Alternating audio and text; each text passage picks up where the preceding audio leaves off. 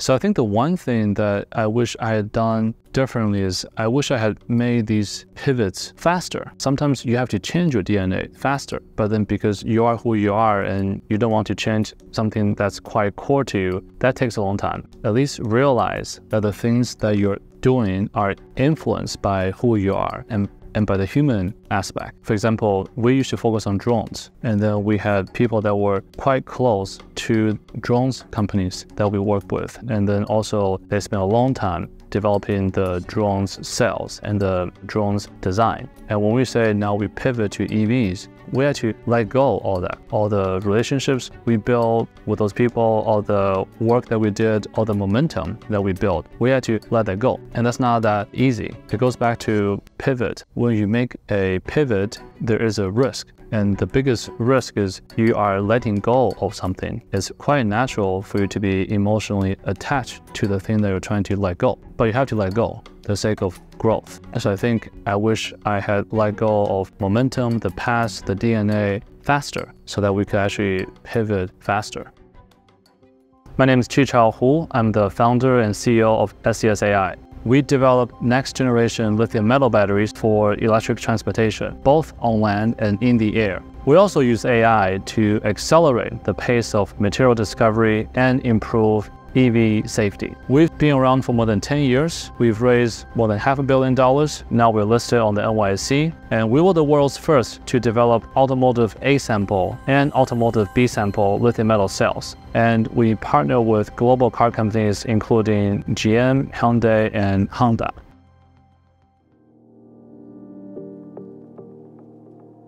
So when I was a child, I was fascinated by the universe. And then in, in terms of anime, Transformers, just like any other kid that grew up in the late 80s and uh, 90s, everything that we have today, once upon a time, was an imagination. A lot of things in Transformers, for example, cars, flying cars, space travel, nowadays we're quite close to be living in a society where you have these things everywhere. I was fascinated by physics, I loved my time at MIT in undergrad studying physics. And then at that time, when I started my PhD in 2007, 2008, it was a very special time in the US.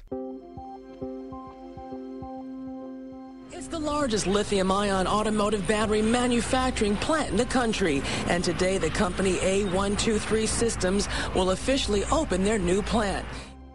A123 was at the peak.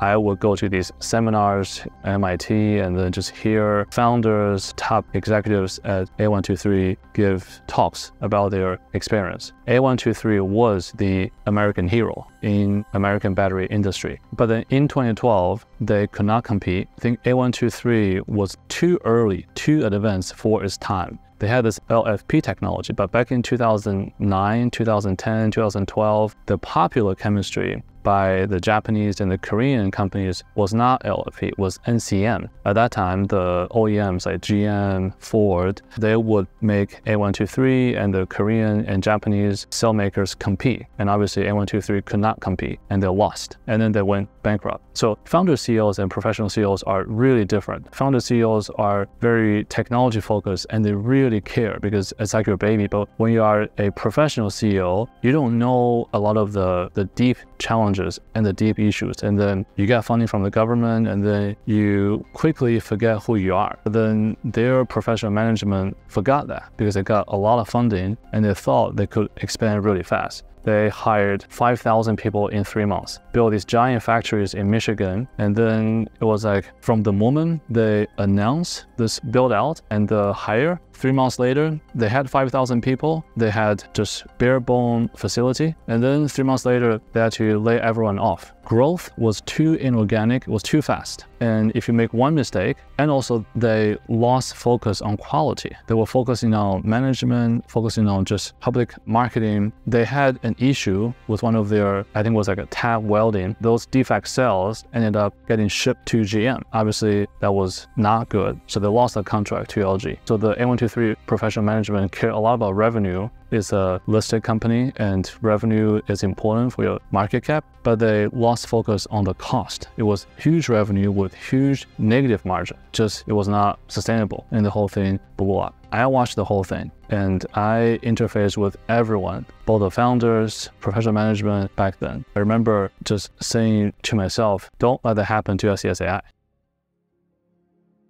end of 2012, after A123 went bankrupt, because A123 is here in Waltham. At that time, we were just, just trying to raise our Series A. We had no money. So we went to A123 because we had known those people quite well. And then their R&D facility in Waltham was, was available. It used to have, at the peak, 200 people. At that time, it had like eight people. And then all the dry rooms, all the equipment, they were new, state of the art, but then everyone's gone. So we went there and we just asked one of those engineers, hey, can you use the line, 1865 line, and help us build, build a couple of prototypes for free?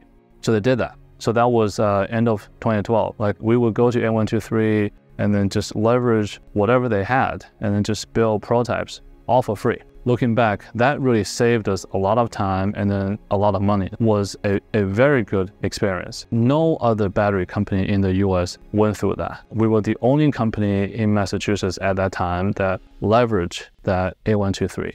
And I think both that experience, leveraging the A123 incubator, learning from A123's mistake. A123 had a good technology, but they expanded too fast. They got a lot of funding and they almost forgot who they were. I think one thing is when the market is, is really good, we try to get as much cash as possible, but then we don't invest many others. For example, in 2022, in 2023, and also I would say first half of this year, when the market was was actually quite quite hot, a lot of our peers invested a lot. If you go visit our peers in California, in other places, I think you'll probably like their facility more than our facility. We tend to be pretty pretty cheap, but then a lot of those companies that invested in these things, they are now shutting it down.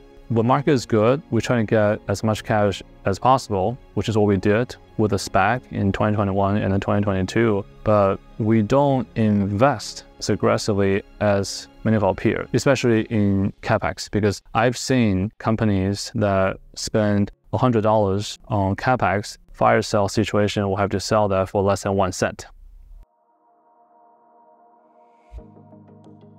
Yeah, so when you run a company, especially once you become listed, there is a lot of work that you have to do, but you also don't have to do you have to do a lot of work for the sake of, of uh, shareholders, market investors, but those actually don't really add value to the core mission. I mean, I think there are lots of challenges. We fundraise seven times. Sometimes market is good, sometimes market is tough, and you have to raise from private investors, from financial investors, from strategic investors. It's challenging. Technology is challenging. Deals done is challenging. These are okay. These are challenges that we have to deal with. I think the biggest challenge that I hate the most is um, is a bad board. So when you're the CEO of a company, there's a board, right? When you're private, the board is consists of investors. When you have like a bad investor that doesn't know anything but wants to get involved, could be this investor has like a timeline and they need to exit, or they have say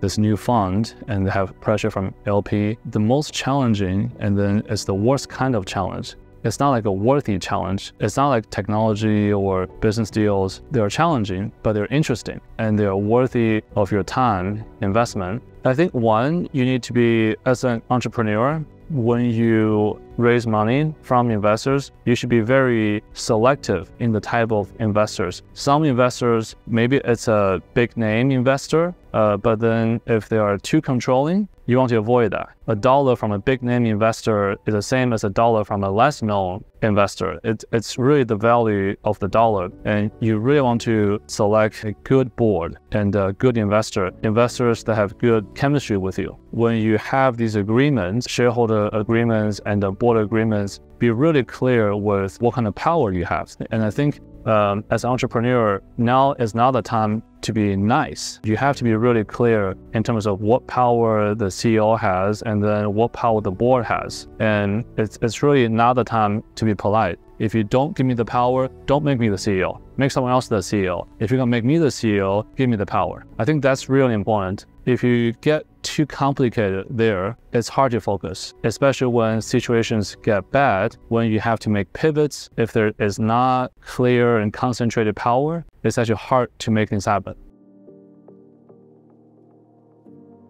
Yeah, so the current EV battery market is challenging. We are in an industry where the validation process takes a long time. It should be, because for someone to buy a car and then drive that car with their family, that car should be safe. It takes a long time to qualify a new battery chemistry in cars. When you change a new material, when you change a new manufacturing process, when you change a new design, it takes a long time to qualify. This is also one of the reasons why we developed the three AI solutions so that we can accelerate that timeline. Actually taking 10 years of seeing how it behaves under different real world situations, let's take one year and then take all the data from one year, train an AI model, and then have that AI model tell us how it will behave in the next nine years. So I think the, the use of AI can accelerate the time that it takes customers and the market to get comfortable with new innovations. The three AI solutions that we are developing, AI for science, AI for manufacturing, and AI for safety, really start to form a new ecosystem that did not exist before. And this new ecosystem is now forming because you have more data from all the gigafactories that are becoming available. And also you have all these new models that are being developed, large language models, new foundation models, and all these new models that we are developing. When these two converge, the data from these gigafactories and these new models, you can form these really exciting ecosystems that never existed before. And then we are working with, in addition to the car companies that we worked with before, Hyundai, Honda, and, and GM, we're now working with compute companies, for example, like uh, NVIDIA and, and a few others, to really establish very capable compute centers and also to develop these new softwares, new models that are tailored to the type of computation that we're doing so that we can really efficiently and then quickly compute a large amount of data from material data to manufacturing data to vehicle data. I think we are taking this, this challenge and then turning this into a very exciting opportunity where we're forming a new AI ecosystem in the EV battery industry that never existed before. I am personally very interested in transportation related applications. Transportation on land, that's why EV, transportation in the air, so flying cars. I really believe flying cars will be everywhere in 10 years worldwide. It's something I'm very passionate about and I truly believe in. When I was a child, I really liked the Greek mythologies of uh, Hermes. He was the one that brought dreams. And then one application I'm particularly excited about for the use of lithium metal is high altitude pseudo satellites. So these are these drones that fly in the stratosphere, so 30,000 meters above the ground. And then it's basically a flying cell tower. So you can imagine these high altitude pseudo satellites will fly in remote places and then provide Wi-Fi, provide signals to kids that have no access to Wi-Fi in terms of the spread of knowledge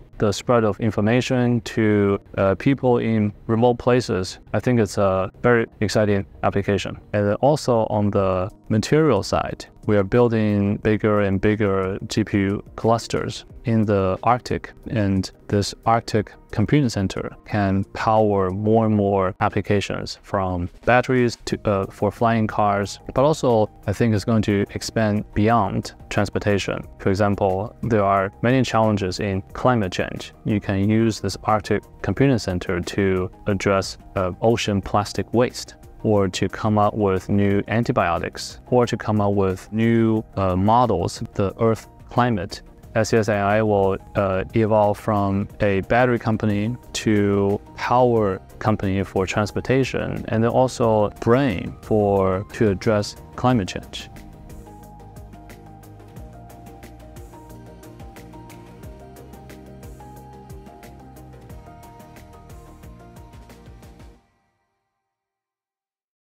I think as a human, it's, it's quite natural to assign an emotion to success and emotion to failure. But actually, they're just different labels of different states, right?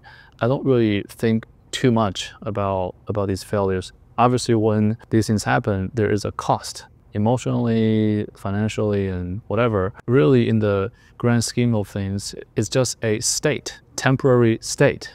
I'm not that bothered by those. I'm a robot.